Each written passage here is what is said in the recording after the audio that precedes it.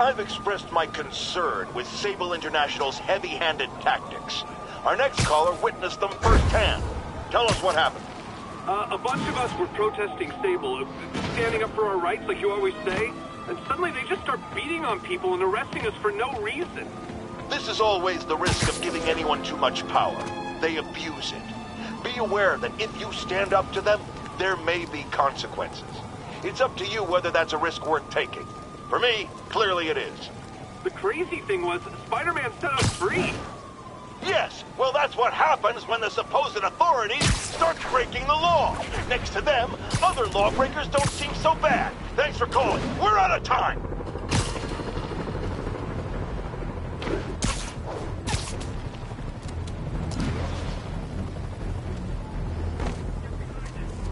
Attention units. Reports of a narcotic sale in progress. Mobilize on Dutchtown.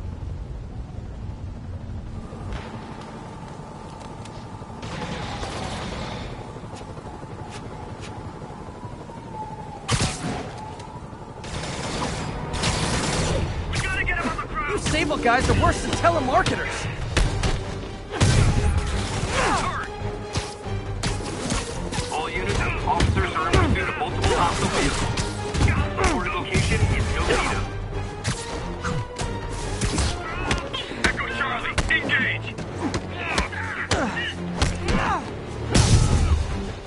I think you guys have it bad.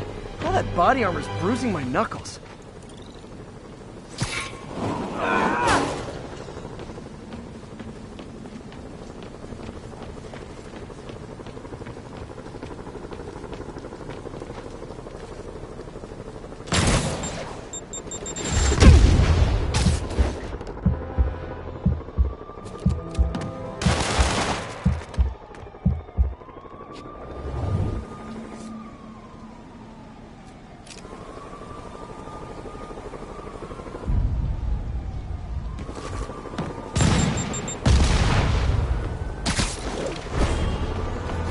What is it with people trying to kill me while all wearing the same outfit?